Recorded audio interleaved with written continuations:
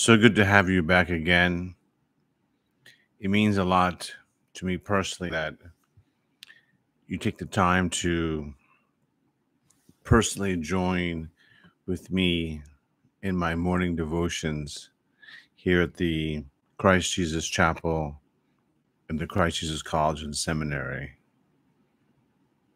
For me personally, I've come to a greater understanding and appreciation of who God is and what God should mean to us. And there are many things in my life that were, at least at the time, I considered very important. And I spent a lot of time and energy trying to, to seek and fulfill those goals. I've come to a point in my life where I understand that the absolute truth of God is crystal clear. If you really want to be someone who knows Jesus Christ and he knows you, and you're truly in the process of denying yourself, carrying your cross, and following him, not a pastor, not a church, not a denomination. Remember, the, the, the church of Christ is one body. It was never God's intention. It was never the the motivation of Christ that the body of Christ would be fractionated into all these denominations that seem to be competitive They appear to be distinct, yet they all have one common denominator Christ crucified. The failure among the churches today is that they're not teaching, they're not preaching, they're not proclaiming, they're not publishing, they're not committed in their souls, and they're not putting their money where their mouth is with regards to publishing and proclaiming the gospel. What is the gospel? The good news. We have all been born into original sin. That is not my words. Those that these are the sound doctrines of the Bible found both in the Old Testament and the New Testament, and Jesus makes it very clear. No man has ever seen God. No man can ever enter the presence of God except he goes through the gate, except he goes through the door, except he comes to the point in his life where he understands that Jesus is the way, the truth, and the life. Oh, how so easy it is to say those words but oh, how difficult it is to really manifest that type of life and that attitude in our lives.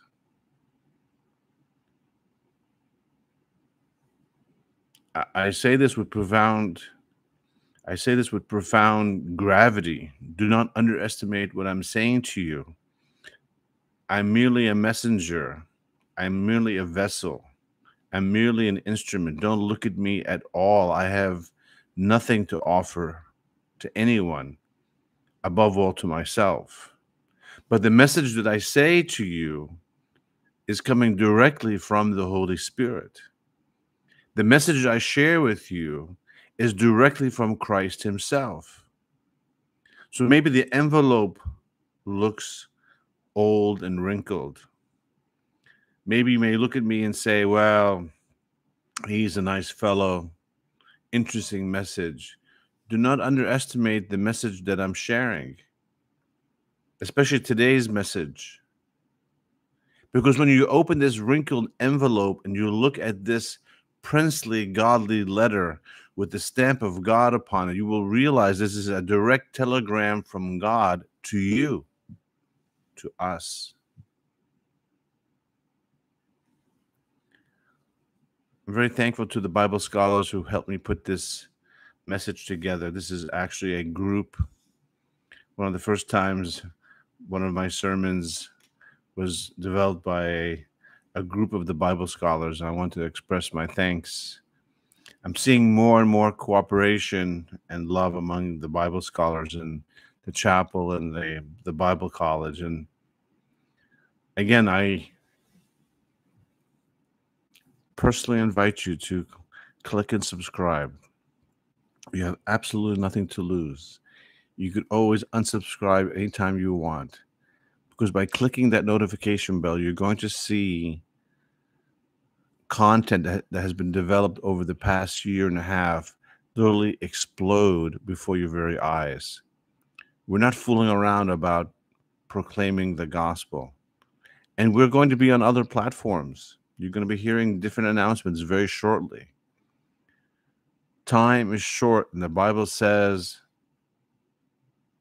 the evening is here, the darkness is here, the daylight is about to abate. Let us put away our works of darkness and let us put on the armor of light.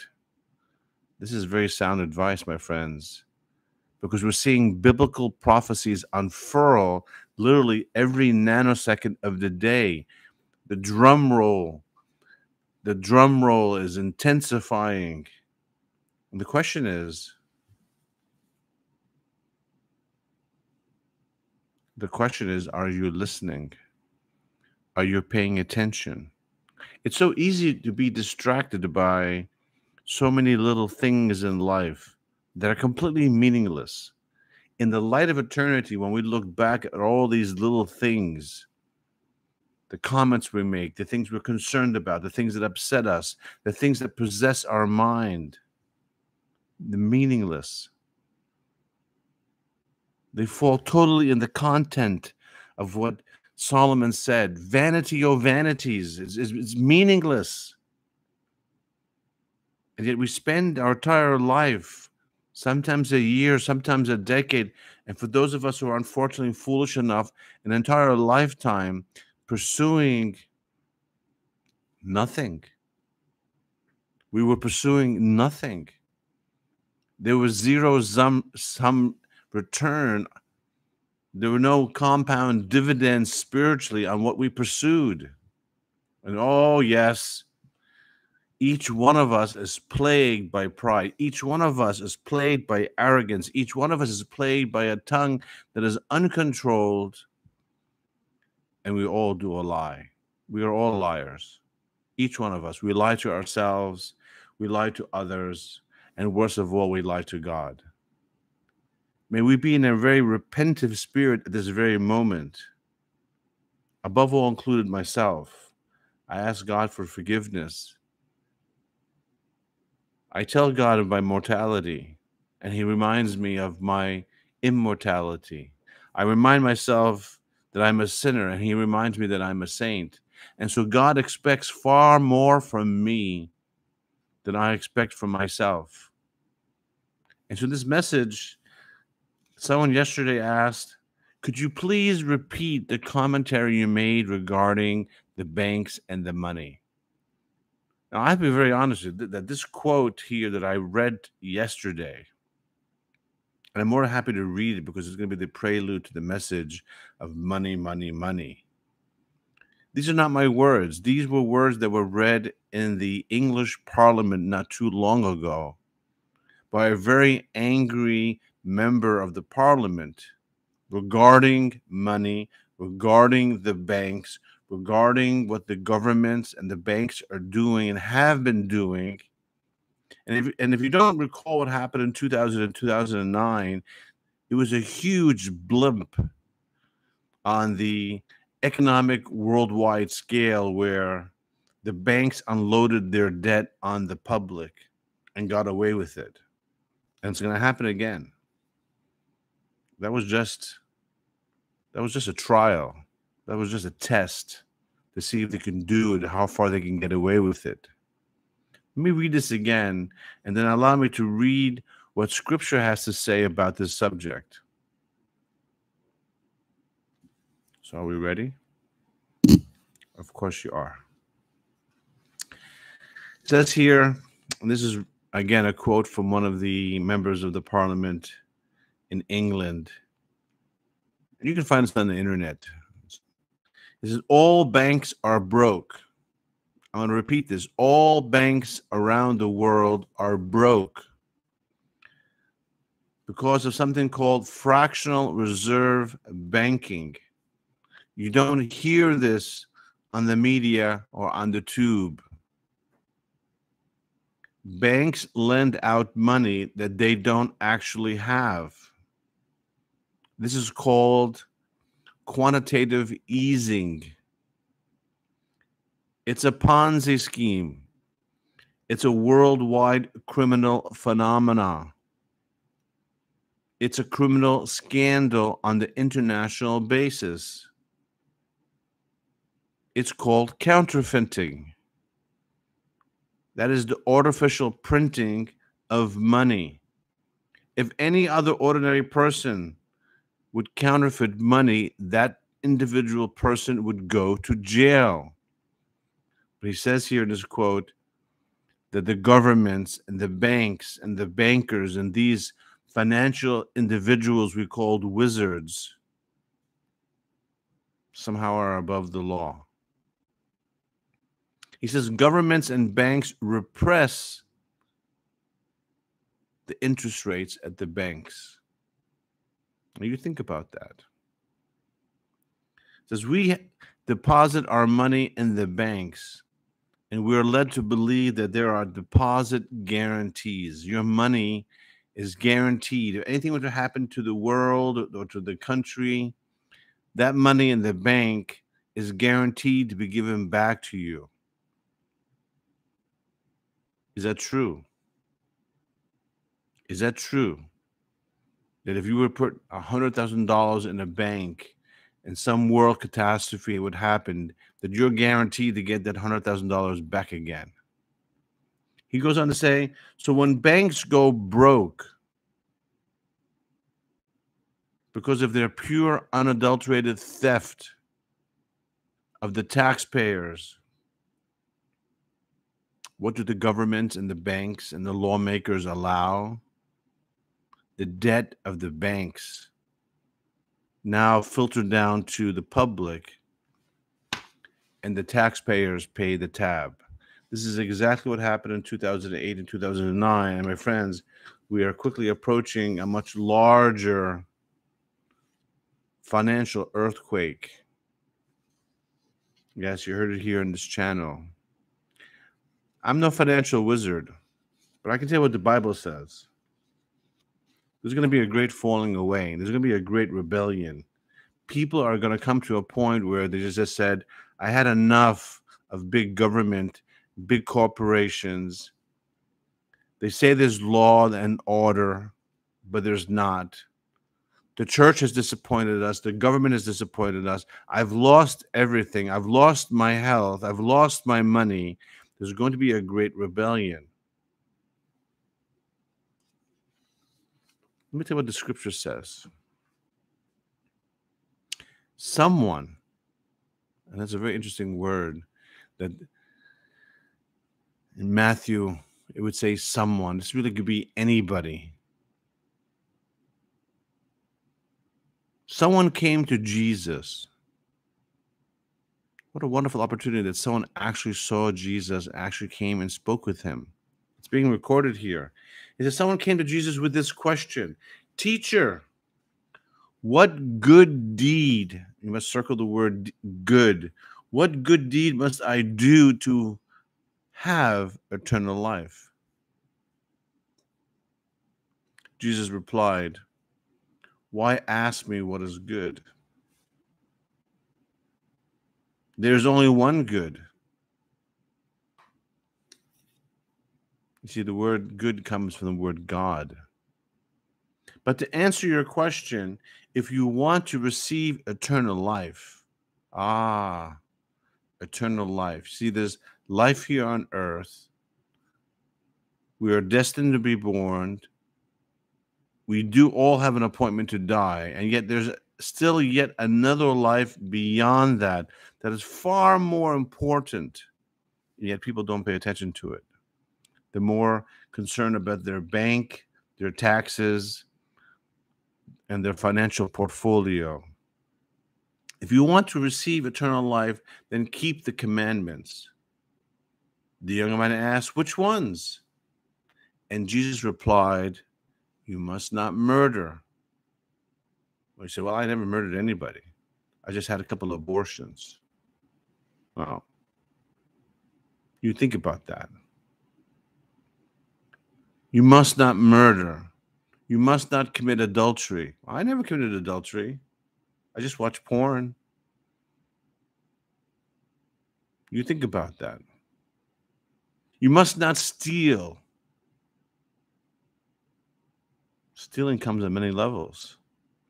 Plagiarism is stealing. You must not testify falsely. I, have never got a court and perjured myself. Many people perjure themselves, and many people tell lies. We are all liars. Honor your father and mother. We know in the last days that men and women will not honor their mother and fathers and throw them in nursing homes and do whatever they want to do so they can enjoy their life because they say, We're here to celebrate life. We don't celebrate death. And love your neighbor as yourself. Remember, love your neighbor as yourself changes at the new covenant, at the Last Supper. And Jesus changes this, this word, this sentence to love others as I have loved you. So it geometrically, exponentially is changed to a much higher level. But at this at this juncture in, in the life of Jesus, he says, love your neighbor as yourself. And that's hard as it is enough.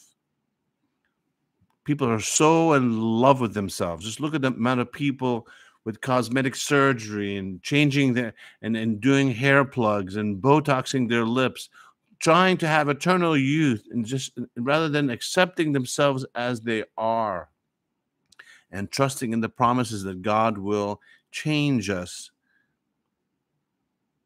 we'll all be movie stars in heaven why waste your time trying to do it here on earth bible says i have i have obeyed all these commandments the young man replied, What else must I do?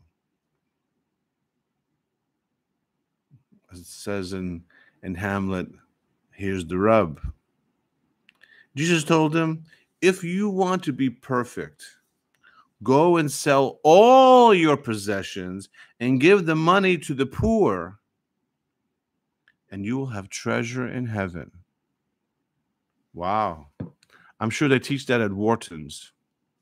I'm sure when you get your your, your MBA at Harvard, that's something that that's one of the principles they teach. Sell all you have, give it to the poor. You look at look at a man like Gandhi and Mandela and Martin Luther King and many others. And I'm not saying that they're the most perfect examples, but there's something to be there's something to be said about having less and enjoying more. You will have treasure in heaven. Hmm. Those are very two distinct choices. Hang on to the moolah or have an eternal reward in heaven, a treasure in heaven. Choose door A or choose door B. If you notice that most of the Christians, the apostles, they lived lives of poverty, simplicity, there was a scarcity in their life, but spiritually, their spiritual level of power was far beyond what we are experiencing today because we are now oversaturated with materialism. We call it capitalism. We call it laissez faire. We call it the American dream. You call it whatever you like, but whatever it is, it has overshadowed what happened early on in the books of Acts where Christians said, It's not mine, it's thine. He says, Sell all you have and, fo- and, and you'll have great treasure in heaven. And then, then come follow me. I really can't say how many Christians in the world are really following Christ. That will be de- that will be determined at the right place at the right time. But in this particular story, but when the young man heard this, he went away sad, for he had many possessions. Then Jesus said to the disciples, I tell you the truth. It is very hard. It is very hard for a rich person to enter the kingdom of heaven. I can stop right now and that'd be a wonderful message. Jesus is saying to his disciples, I will tell you the truth. It is very hard for a rich person to enter the kingdom of heaven. And you have to understand here in verse 24, he says something again. It's very, very important. You could easily miss it. He says, I say it again. He's repeating it. You have to understand that when, when you're in the Bible and something is being repeated, there's a purpose for that repetition. It's to inundate you with something that's very critical. I say it again. It is easier for a camel to go through the eye of the needle than for a rich person to enter the kingdom of God. And there's been a lot of debate about the camel and the eye of the needle. I'll give you my interpretation. You could do your own research. I think it's literal. I think he actually meant taking a camel and putting it through the eye of a needle. Yes, it's true that at that time, the walls of Jerusalem did have certain little gaps, little holes in their wall, so that when the gates closed at night for security, if people that were traveling were trying to enter Jerusalem at nighttime, the only way the camel could enter through this little gaping hole in the walls of Jerusalem was to unload the wealth, unload the goods, unload the fare off the backs of the camel, and the camels would have to go on its hoofs and crawl and squeeze through that hole. But it couldn't. It could. He it, it couldn't be both. It couldn't be the camel and the wealth, just the camel itself. So perhaps both are true. Jesus takes it a step further. You need to hear this because there's going to be a time where we may all have nothing. We may all be facing persecution and we may all be facing very dire circumstances where what we had, we do not have. And we need to listen very carefully to what Jesus is saying to us. No man can serve two masters. And I can tell you right now, maybe God has allowed this poor sinner. I am just I am just a, a poor sinner who has been given unmerited favor to be sitting on a mountaintop looking about the other churches and other pastors and being being given a glimpse a peep down the corridor, a, a, different insight, so I can understand a little bit more differently, so I can come as a poor poet and a poor prophet to warn and to and to disciple and to help us to, to, to decipher what's about to happen. Something big is coming our way. And what Jesus is saying here is you cannot serve two masters. For either you'll hate one and love the other, did you hear that? You either hate Jesus and love your money, or you'll hate your money and you'll love Jesus, but you can't have it both.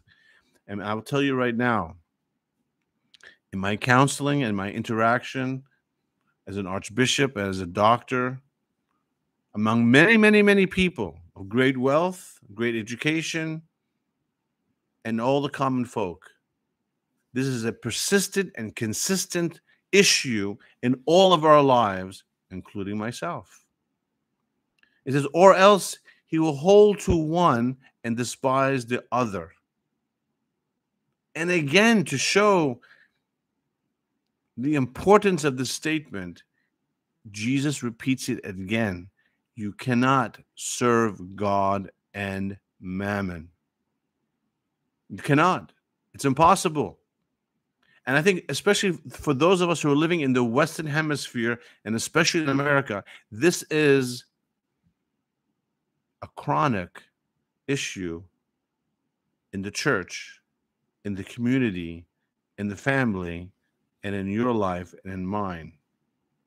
How do I close here? Who's Mammon? Look it up. It's a Syrian deity. You see, Satan and his wonderful power of organization and efficiency. He's a wonderful businessman. He's got a Ponzi scheme. He's got a corporation that is literally all across the earth, above in the air. And he has delegated to each of his demons They've all been outcasted. The clock is ticking, tick, tock, tick, tock, and their judgment is coming, and they have nothing to lose. And it's all out warfare. Demons, spirits without bodies, and they hate you. If you're not saved they still hate you because you're the image of god. But if you were if you were wise enough to accept jesus christ as your lord then you are a prime target. If they can't get you they'll get your wife. They can't get your wife they'll get your kids they can't get your kids they'll go after your wealth they are going to come after you that's why Ephesians 6 and wearing the armor is so important. If you wake up in the morning without wearing your spiritual armor, you are a fool. Those are not my words. The word mammon is so important. It is found in Hebrew, Latin, Greek, and Aramaic. You think about that. It's defined as earthly goods, property, and riches. The Bible defines it that mammon are the things of this world that divert our attention from God to the pleasures and comforts of earthly desires. I repeat that. It will divert your attention.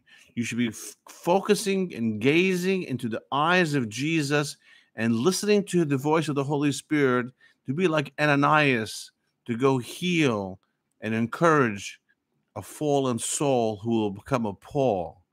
But you won't do it because you are, you are diverted your attention is diverted to the pleasures and the comfort of earthly desires. Money, money, money. I fight for it. I live for it. I breathe for it. I eat for it. I will kill for it. That's the world we live in today. Yes, money can provide fleeting happiness, but ultimately it is a deadly distraction. I warn you, Money is a deadly distraction for the salvation of our souls. Paul ends it like this Thank God for Paul. I thank God that God gave us a Paul who could write these words for us at this particular time because it's very pertinent and salient that we, we capture this truth, we integrate it, and, to, and we assimilate it into our lives because it's going to be a reality sooner than you think. There is a world agenda, and they want everything. They want the land for the farms, they want your money, they want your DNA, they want your soul, and they're going to do anything. It isn't them. Don't get mad at the people, they're just puppets. It's the enemy that's behind them that's using them. All these people, these players on, on the stage of life that we look on television, they're all victims. Pray for them. Pray for your worldly leaders. Pray for the people who persecute you. Pray for the people who misunderstand, who misjudge your Christian walk. They're victims. The true predators are the ones that are behind them spiritually, who are using them, who have possessed their mind and bodies because they're using money as the ultimate bait to capture you. 1 Timothy 6. But godliness with contentment is great gain. Do you hear that? To be godly, to be holy, and to be content with what you have is great gain. I don't need another house. I don't need another car. I don't need another IRA. In fact, the less I have, the better. Because then instead of me worrying about those things, I have more time to serve the master. For it says, We are brought into this world with nothing, and it is completely certain that you will carry nothing out. When they buried Napoleon, his last request was, Bury me with my hand outside of the grave. Leave my hand out into nature itself to show everyone. Yes, I was Napoleon. Yes, I won 60 battles in a row. I almost conquered the world, but I left empty handed.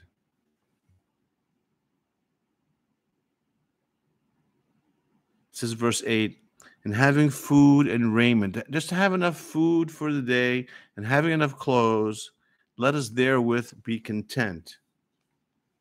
Now listen to listen very carefully to these last words. I know I'm slightly over time here, but you know what? This is where the two minute warning comes in. Don't miss this. But, verse 9, but they that will be rich, those people who are insisting to be rich, those people are running and they're pursuing and they're just consumed with this idea that I must be rich, I must have it, I need it, I will take it at whatever cost. There's a price. There are consequences for this decision. And as Christians, if we are to be called by the name of Christ, if we're going to have that privilege to be called Christian, that we have Christ living within us. This is a privilege. This is the highest honor. This is better than the Nobel Peace Prize and the Academy Award and all the world can ever give you for someone to call you a Christian. If you're going to pursue money,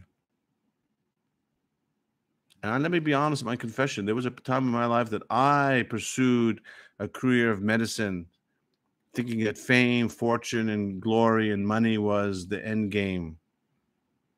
And then Jesus asks you a question What's better, all of this or one hour with me? Yeah, I heard his voice and said, Oh Lord, one hour with you is so much more better. What happens to these people who persist in following riches? They will fall into temptation Warning, Christian, you pursue wealth, you pursue money, you insist on grieving and quenching the Holy Spirit in the pursuit of money, you will fall into temptation. It will be like a pit and it will be like a snare. You will fall into the pit and it will be like a snare grasping you. You know how they catch the monkeys? There are some very exotic monkeys that are found in many zoos, and you wonder, they're so beautiful, they're so limber, they're so fast. How do they catch them? It's a very simple trick. They love coconuts. And so they get these coconuts and they tie a rope to these coconuts and they put inside the coconuts all these wonderfully colored stones. And the monkeys come and they look and they hope to eat the coconut and they jiggle the coconut and they see and they look inside the coconut and they see these wonderful color, colorful stones and they put their hand inside a small little hole and they grab onto the stones they want that colorful red blue and white stone but they can't get their hand out and now the trappers now simply slowly pull in the rope and the monkey's being dragged in losing its freedom and now headed is headed its way now to a prison called the zoo. And you would think that the monkey would be smart enough to say, "Let me go. Let me let me let me let go of these silly little rocks and get my freedom." But they don't. They go all the way, and they get captured. And this is what happens to the Christians. We're hanging on to nothing, and we lose our freedom. You will fall into a temptation. You will fall into a snare. and you will fall into many foolish and hurtful lusts, and it will throw you down. And there'll be destruction and perdition. It will destroy you. The pursuit of money will destroy you. We'll take it a step further. Is the next verse. For the love of money is the root of all evil, which some have coveted, have lusted. They've made it. They've made this a, an idolatry. They have the the they have the brazen. They have the brazen audacity to say, "Oh, how I love Jesus," and yet in their heart they're just burning with a fire for the money. They have erred from the faith. That's the truth. They have erred from the faith. And they have pierced themselves. They have pierced themselves. They have self-inflicted wounds with many with many sorrows. You see, this money, this wealth, this possession, this worship of mammon is going to bring you perdition, destruction, and sorrows. You've been patient with me here, so just one more verse. What's the answer? As the big trouble is coming, and it is coming, I warn you, you've heard it here. The big trouble is coming, and it is far more intense and more profound and far more graphic than you can imagine. It's coming. Food will be scarce. Everyone will be monitored. There's going to be a force that is going to be so brazen against Christ. There'll be not mandates not only for the jabs, but there'll be mandates about putting a mark upon you, or you will not buy or sell, and you're going to face great hardships. Some will die and some will go to prison. Paul writes here I know how to be abased. I know what it means to have nothing and I know how to abound. I know I know how it feels like to have everything everywhere. And in all things I am instructed. Who instructed him? Jesus. Jesus said, The foxes have holes and the birds have nests, but the Son of Man, me, Jesus, the beloved Jesus, I don't even have a place to lay down my head. That too soon shall be our position both to be full and to be hungry, both to abound and to suffer need. You see that this now, this is where we take the text out of the context. We read to each other, I can do all things through Christ who strengthens me, but they don't realize it comes after verse 12. We must learn, my friends, to be tent makers, to be happy with whatever God gives us. To not to pursue wealth, but to pursue the knowledge of Christ, the power of his resurrection. And, and, and to step up in following him and to enjoy the fellowship of the sufferings of Christ. See, this, this, my friend, is that's the line that delineates the real from the fraud. Many people want to know Christ. Many people want to know the power of his resurrection, but they don't want the persecution. They don't want the suffering. They don't want the shame. They don't want the pain of the fellowship of his sufferings. So you choose. My message ends as this you're going to get what you choose. God has given you freedom, freedom of thought, freedom of expression, freedom to choose, freedom to worship. No country, no man, no law can take that away from you. You are made in the image of God. And so, in the end, you will get what you choose. If you choose riches, you will fall into a snare and there will be destruction and perdition, and you will pierce yourself with many great sorrows.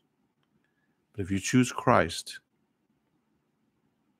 and you make your heavenly treasure, the good deeds of love, that's where it's at, baby. Don't be like that monkey. Learn the lesson of what Napoleon said I came in empty, I'm leaving empty. Love your neighbor as Christ has loved you. You'll be misunderstood, but that's okay. And then love God with all your heart, strength, and soul, but above all, with your mind. Don't forget, he says to love, we are to love God with all our mind. Long session this morning, but it was necessary because a lot of good questions were raised. And I hope that this was a time of enlightenment, spiritual enlightenment, to prepare you for the wonderful challenges ahead of us. Nothing to be afraid of. I'll close at one point. One of the men in our Bible college said, What is the difference between fear and faith? And I had to answer that question. Very educated man, man who's seen it all. And I said to him, the definition between fear and faith is what you do. Many Christians are talkers, big talkers, philosophical talkers. In the end, Jesus is going to say, What did you do for me?